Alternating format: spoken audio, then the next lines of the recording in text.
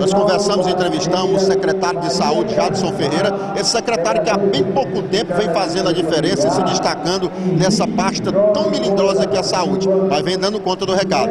E eu sempre tenho dito aqui de que hoje Redenção mostra de forma clara que além de sermos a capital da liberdade, passa a ser hoje na prática a capital do maciço. Isso é fato, secretário? Henrique, isso é fato. Hoje nós podemos comprovar com esse evento, Redenção sendo a pioneira desse programa que é do governo do estado.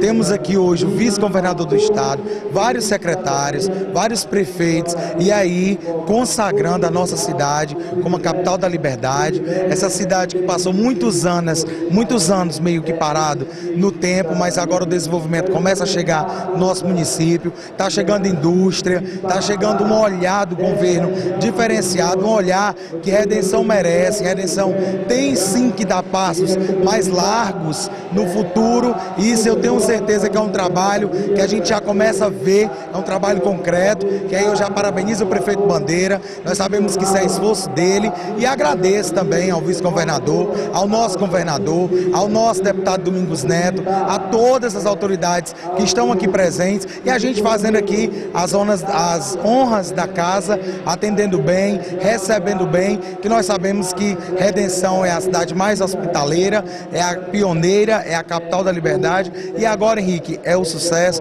é rumo a esse sucesso que Redenção está trilhando e eu tenho certeza que não é uma coisa que a gente está sonhando para depois acontecer, não. Já está acontecendo no dia a dia e só quem tem a ganhar somos nós, são todos os redencionistas.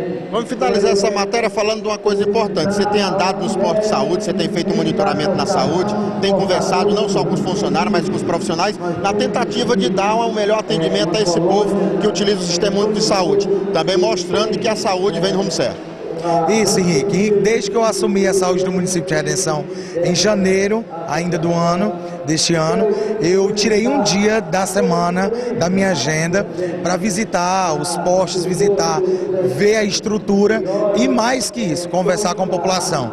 Então, toda quinta-feira eu tiro esse dia, quando não dá para ser na quinta e na sexta, pego o carro, vou a uma localidade, vou a um distrito, converso com o povo, vejo como é que está sendo feito o atendimento, acompanho de perto e tem dado certo. O retorno da população vem de imediato e eu não posso, enquanto gestor da saúde, estar tá atrás de um birô esperando que as demandas apareçam. Eu sei que é complicado, a demanda hoje da saúde do município de Redenção não é diferente da saúde do Brasil, do estado do Ceará, tem sim as suas dificuldades, mas eu corro e tento me antecipar para dar o retorno da população da melhor maneira possível e graças a Deus tem dado certo.